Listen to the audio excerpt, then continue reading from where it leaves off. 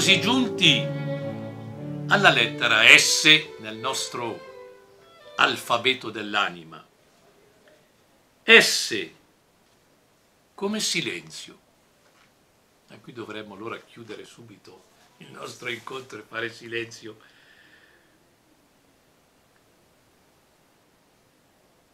La Bibbia è piena di silenzio.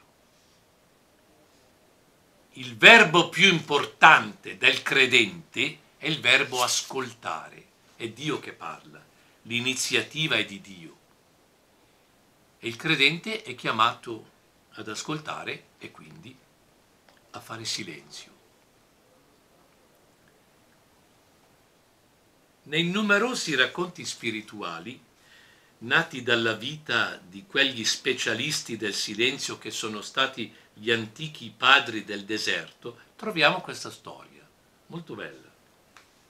Un uomo d'affari, stressato e logorato dai troppi impegni, fece visita un giorno ad un monastero dove viveva un santo monaco, vero maestro di vita spirituale per chiedergli un consiglio. Gli disse l'uomo di Dio,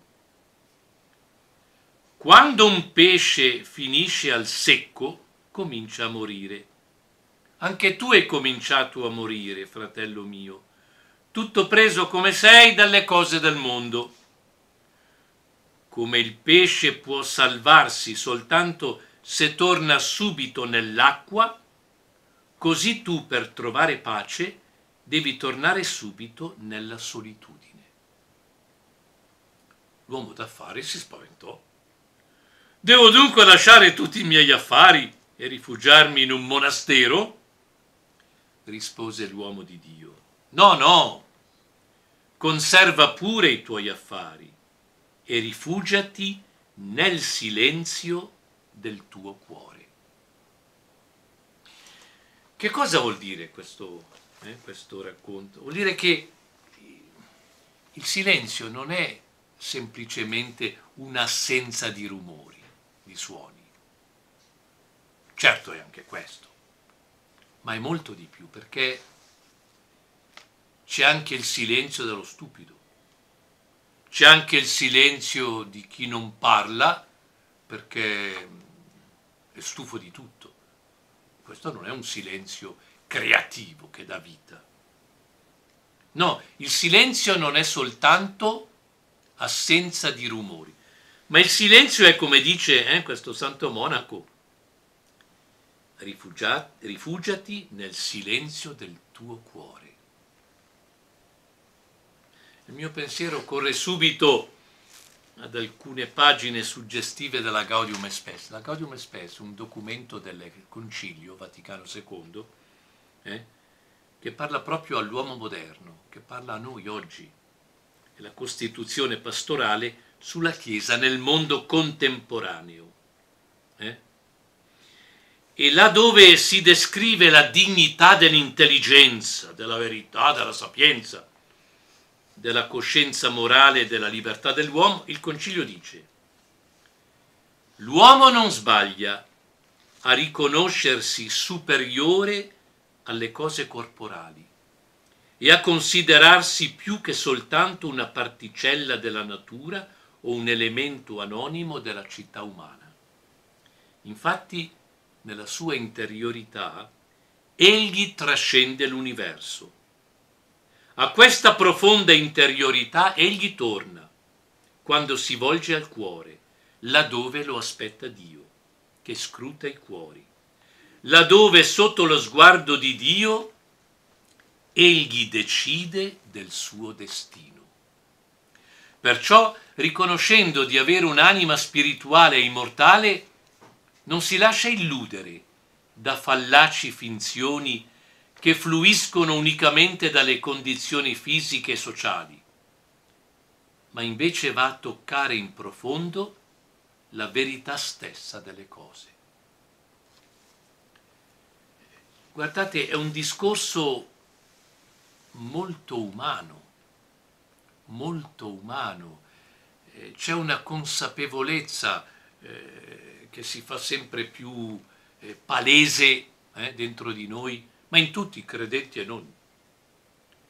Proprio perché è aumentata la complessità della vita, proprio perché siamo circondati da, da milioni di stimoli, proprio perché i media, proprio perché la scienza, proprio perché il coronavirus, proprio perché i giganteschi problemi che sono diventati adesso planetari, eh, il villaggio globale, il nostro pianeta ormai, siamo tutti sulla stessa barca, proprio per questo abbiamo bisogno, e tutti lo ammettiamo, di un supplemento di saggezza, di un supplemento di pensiero.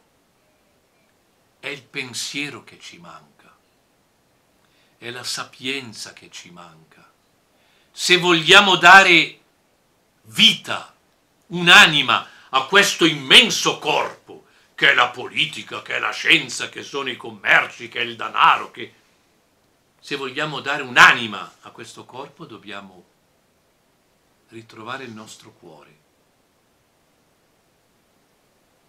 ritrovare il silenzio, quel silenzio che ci fa incontrare Dio che parla, quel Dio al quale siamo allacciati eh, in maniera costitutiva. Dio non è un hobby della nostra esistenza, un piacere per alcuni e un fastidio per altri. Dio è il senso della nostra esistenza. Senza un Dio creatore, l'uomo, l'uomo non sa più chi è. Può diventare anche un mostro. Certo, perché si fa Dio lui. Si fa Dio lui e quindi è lui che stabilisce ciò che è giusto e ciò che non lo è. Se pensiamo alle grandi dittature crudeli, eh, questa orgia di violenza che è, è stata il, il nazismo, il fascismo, il comunismo. Cosa sono state queste dittature se non la pretesa assurda di volersi sostituire a Dio? La dittatura è la eliminazione di Dio, un uomo il leader che si fa Dio e comanda un mostro, un mostro. L'uomo senza questo riferimento superiore è smarrito, non sa più chi è e può camminare per vie che lo auto lo autodistruggono. Ecco il silenzio. C'è un silenzio molto genuino, pieno di buonsenso, che è il nostro riposo, che, che già quello è, è, è, un cammino verso la verità. Eh? Chi si distende, chi fa le cose con calma, chi fa le cose una alla volta, ma certo anche questo è necessario, ma è una premessa all'altro silenzio che è il nostro cuore, che si apre ad una parola nella Bibbia la parola è più grande del silenzio, perché Dio si fa parola. Ma perché io possa ascoltare ed accogliere questa parola, ho bisogno di tacere, ho bisogno di fargli spazio nel mio cuore, ho bisogno di stare zitto. Eh? Parla, Signore, il tuo servo ti ascolta.